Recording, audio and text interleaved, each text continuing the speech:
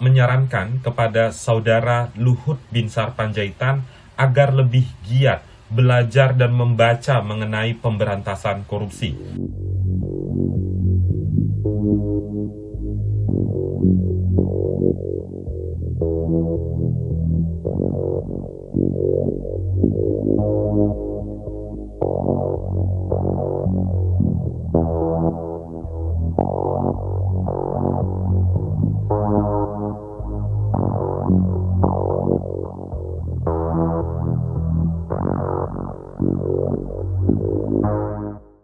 Semua kerjaan dalam tadi pencegahan dan itu menghemat ratusan triliun dan meningkatkan pajak. Itu dilihat jangan drama-drama tadi yang ditangkap Pak KPK mesti kalau kurang jumlah ditangkap berarti nggak sukses. Saya sangat tidak setuju itu kampungan menurut saya kalau pemikiran itu kan deso itu. Pemikiran modern makin kecil yang ditangkap tapi makin banyak penghematan itu yang sukses story-nya. Indonesia Corruption Watch menyarankan kepada saudara Luhut Binsar Panjaitan agar lebih giat belajar dan membaca mengenai pemberantasan korupsi.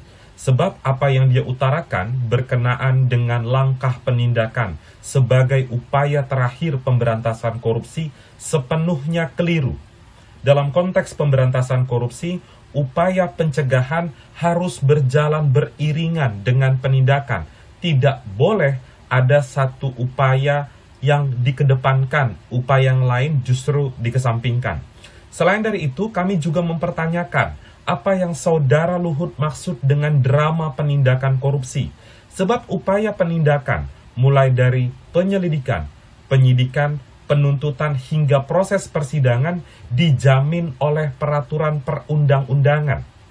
Apakah yang ia maksud sebagai drama adalah proses hukum di persidangan, jika itu yang ia maksud, maka sebenarnya ia telah melecehkan hukum. Selain dari itu, kami juga menghimbau kepada saudara Luhut untuk lebih paham soal pemberantasan korupsi di Indonesia, di mana saat ini kita sedang berada pada fase yang sangat mengkhawatirkan. Indeks persepsi korupsi Indonesia berdasarkan catatan transparansi internasional anjlok tahun 2022. Skornya dari 38 menjadi 34. Selain dari itu, OTT yang dikritik oleh saudara Luhut sebenarnya adalah upaya penindakan di KPK yang telah berhasil menjebloskan banyak pejabat publik ke dalam penjara. Mulai dari pimpinan lembaga negara, menteri, hingga kepala daerah.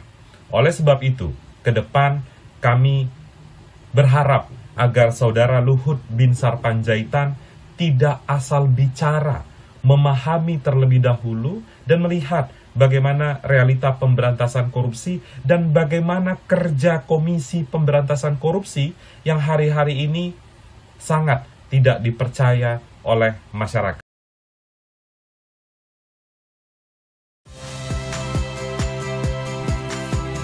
Saya Iriana Mardanus.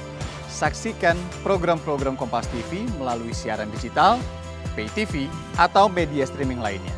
Kompas TV, independen, terpercaya.